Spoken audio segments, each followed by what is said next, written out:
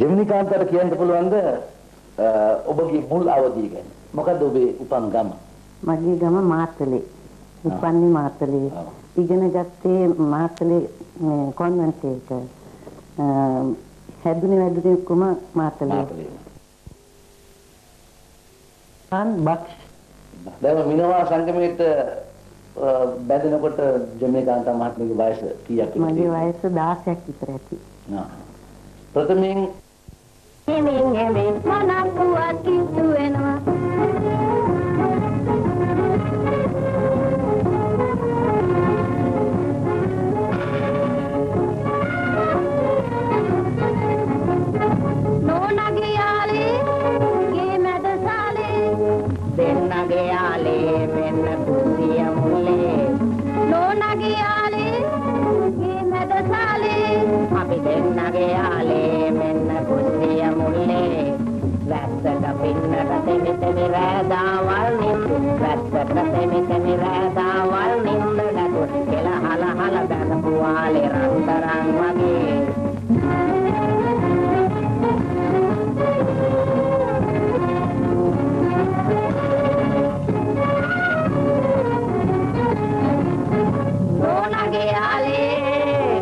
ගේ මැද සාලේ.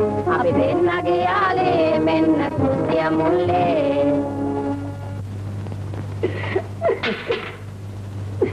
මේ හැවෑට ජොසි මේ ඔය මේ මේ ඔය සැ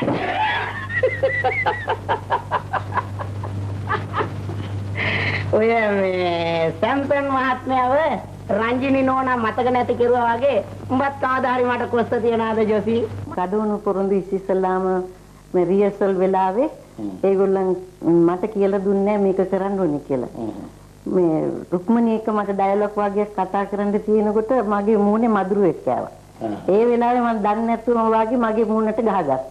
පස්සේ ඔඩියන්ස් එකේ මිනිස්සු ඔක්කොම hina වෙන්න ගත්තා. ආ, ඒ කියන්නේ වේදිකා නාට්‍ය. මේ මේ මේ මේ කලබල වැඩි සෙනඟ පිරෙනවායි මෙවයි කියලා එතකොට ඉතින් මේ කරදරයක් නැතුව උතනින් යන්න පුළුවන් වුණාද? මොකද දැන් චිත්‍රපටිය බැලුවයින් පස්සේ මිනිස්සු අඳුර ගන්නවා. අඳුර ගන්න. ඒ මුලදී එහෙම තිබ්බේ නැහැ. ඊට පස්සේ දවසක් බදුල්ලේදී ඉස්සිසලාම පෙන්නන එකට කොට වෙන්නත් බැරුව ගියා. ඉතින් වටෙන් පිටින් ඒ පොලිසියෙන් එහෙම මෙහෙම ආ කරලා අපිට යන්න ඉඩ දුන්නා.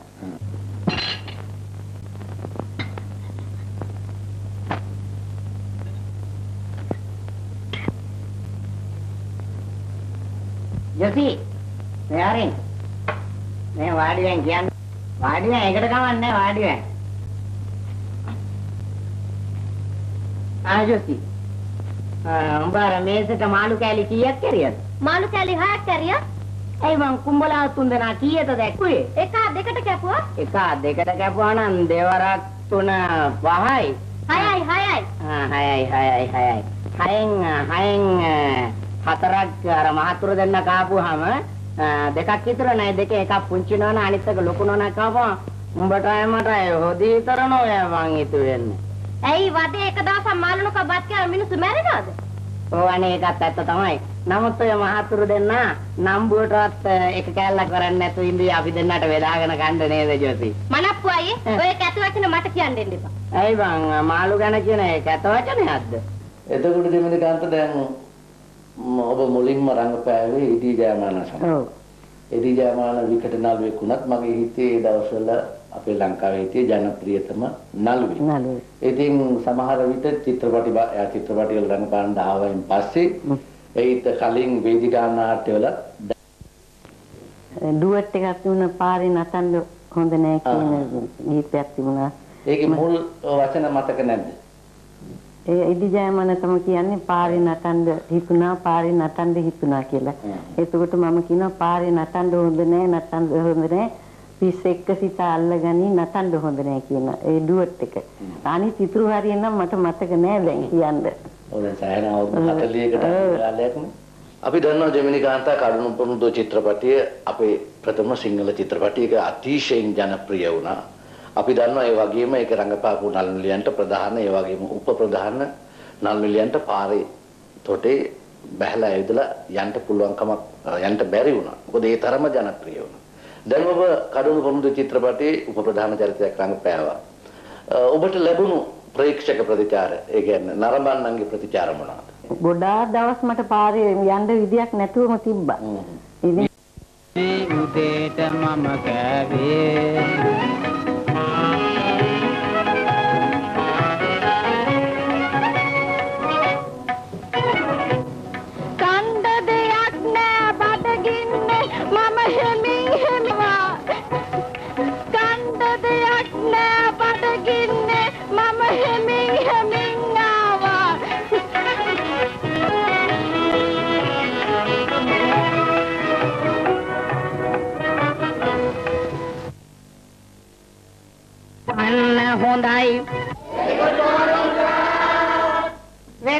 වෙරිම වෙරි ගෝලේනි වාඩි වෙයල්ලා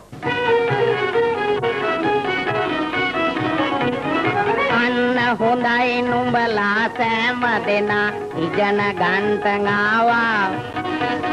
අන්න හොඳයි නුඹලා සෑම දෙනා ඉගෙන ගන්ට ආවා. හොඳ ලෙස පාඩම් දෙන ළමයට මම බෝනි ටිකෙක් දෙනවා හොඳ ලෙස පාඩම් දෙන ළමයට මම බෝනි ටිකෙක් දෙනවා. උඹ කියපන් දැන් සංගීත පාඩම සාරේ ගාම පාද නිසා සානිදාප සනිදකම කරග සරිගම පදනිස. ගණන් ඉලක්කම් උඹ කියපන් දැන් 1 2 3 4 5 6 7 පළවෙනි පාඩම උඹ කියපන් දැන්. A B C D E F G H I J K L M N ඉතිරි හරිය දැන් උඹ කියපන්. ඉතිරි හරිය දැන් උඹ කියපන්.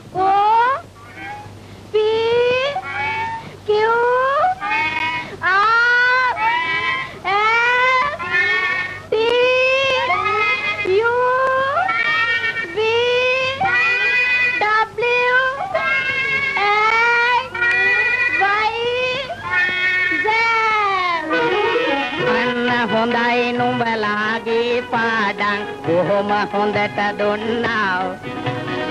අන්න හොඳයි නුඹලාගේ පාඩම්. බොහොම හොඳට දුන්නා.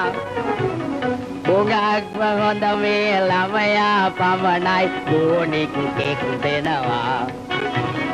උගක්ම හොඳ මේ ළමයා පමණයි කෝණිකුකෙක් දෙනවා.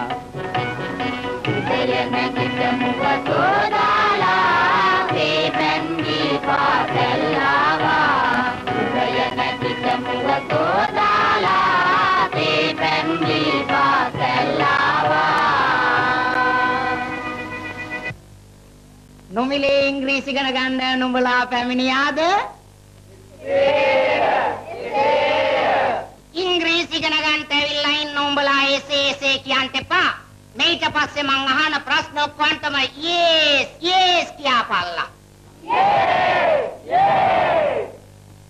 ආහා බොහොම හොඳයි බොහොම හොඳයි.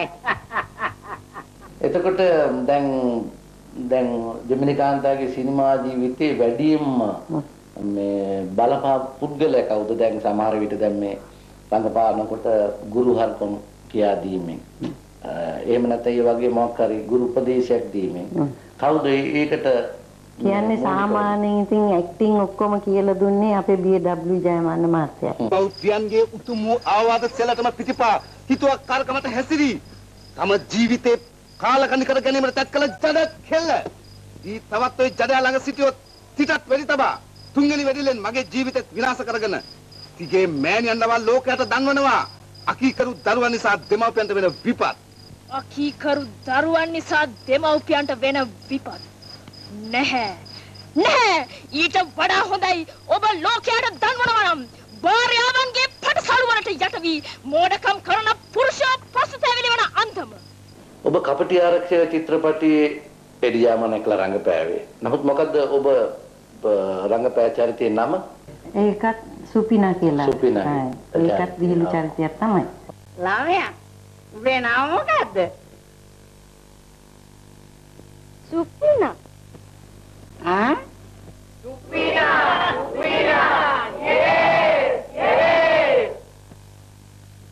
හොඳයි ළමයා. අර මාමා එක්කලෝ පාර ගන්න නැද්ද?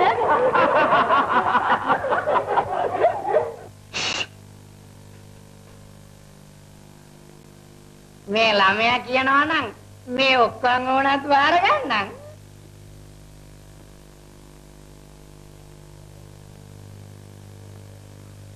හැබැයි ගෝලේනි හෙට උදේ හිටන් උඹලා ඔක්කොමල්ලා මෙහෙ හැමදාම උදේට එන්න ඕන. හැබැයි හිස් අතින් එන්න බෑ. ඉංග්‍රීසි හෝඩි පොත පොතයි මාස්ටර්ට තෑගි වෝගයි අරන් එන්න. යාගි මොටද සර්? ඇයි ඉංග්‍රීසි ගන්නන්නේ නිකන් නේද? මොඩයා ඉස්පිරිතාලයේ දොස්තර මහත්මයා උඹලට නිකම් බේත් දුන්නට උඹලා හිස් අතින්ද යන්නේ නෑ බෝතල් අරන්.